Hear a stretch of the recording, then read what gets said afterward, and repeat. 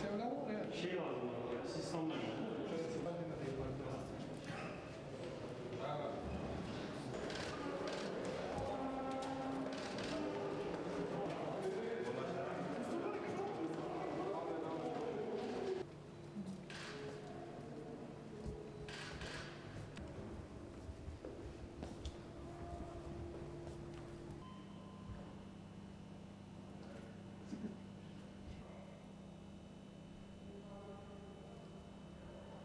ما از ایران که می آمدیم سر مرز ایران.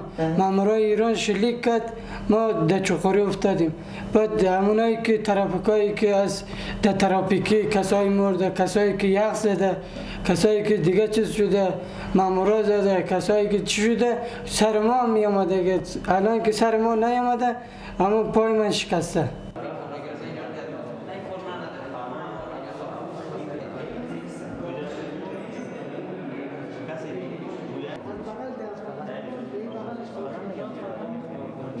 Değmez. Herkes biliyor değmez. Ama ne yapsınlar? İş yok, mecburen geliyorlar. Ee, soğuklarda, karlarda dönüyorlar, donuyorlar. O, e, otobüsler şey, e, kaza yapıyor. İnsanlar ölüyor. Ama nasıl anlatsam şimdi? Ee, çalışmak için geliyorlar. Ailesine para göndermek için geliyorlar burada. Buradan çalışıyorlar, onlara gönderiyorlar. Çünkü Afganistan'da iş yok.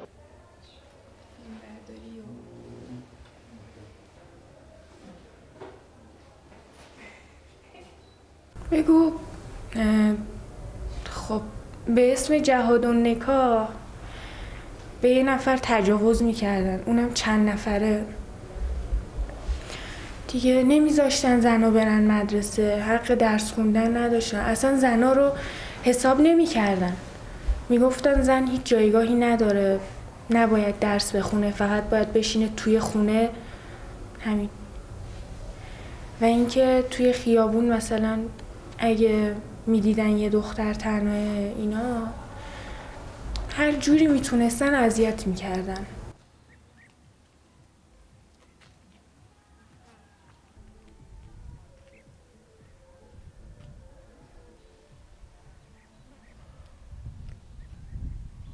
düzensiz göçmenlerin geçiş esnasında zaman zaman kışın sınır hattında donanlar olabiliyor. Derede boğulanlar olabiliyor. Zaman zaman da trafik kazası sonucu hayatını kaybedenler olabiliyor. Bunlar önce hayatını kaybedenler adli tıpa otopsi için gönderilmekte. Adli tıpta otopsi ölüm nedeni ve kimliğini tespitine yarayan DNA sonuçları alınıp tespit edildikten sonra morga kaldırılıyor. Eğer kimliği tespit edilmişse ilgili ülkenin büyükelçiliğine veya da konsolosluğuna o bilgiler paylaşılıyor.